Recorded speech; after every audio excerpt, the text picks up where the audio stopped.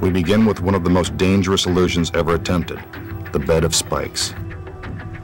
This is a world-class magician performing these perilous tricks. Please do not attempt any of tonight's illusions at home. Check out the spikes. They are 18 inches long and made of steel. The top platform weighs more than 500 pounds, and when it comes crashing down, it is capable of driving the sharpened spikes straight through a slab of solid cement. Imagine what that would do to our magician if this weren't just a trick.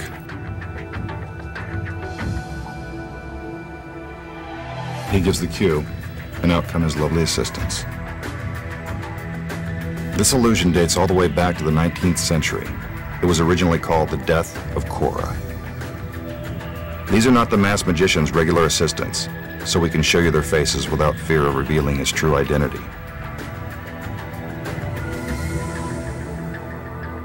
He lies down on the bed of spikes. I don't think he's going to get much sleep. His assistants tie him down. They use thick leather straps to make sure his hands and feet are tightly secured.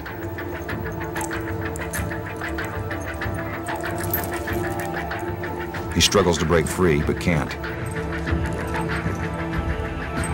Now a black curtain is drawn. The curtain is supposed to spare the audience the gruesome sight of our magician being impaled by the deadly spikes.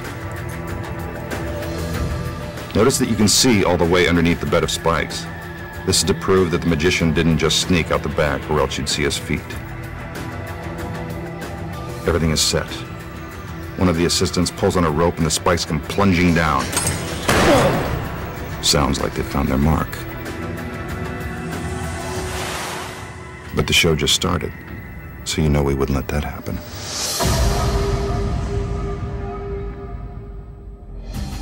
How did the magician disappear just a split second before getting shish kebabbed by the spikes?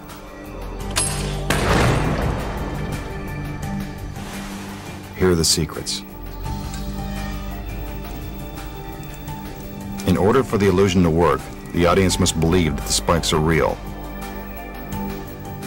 I can tell you for a fact that they are. And if you think the spikes simply retract into the top platform, you're wrong. That's not how the trick is done.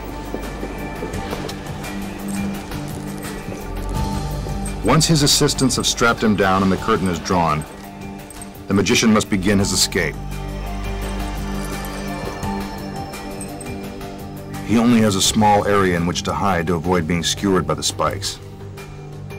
But first things first. The buckles and straps are real, so it looks like he's tied down. But he's not. It's really just Velcro. That's how he breaks free. Now the magician must quickly roll off the platform and onto the ledge in order to avoid being impaled. The assistant pulls on the rope and the spikes come crashing down.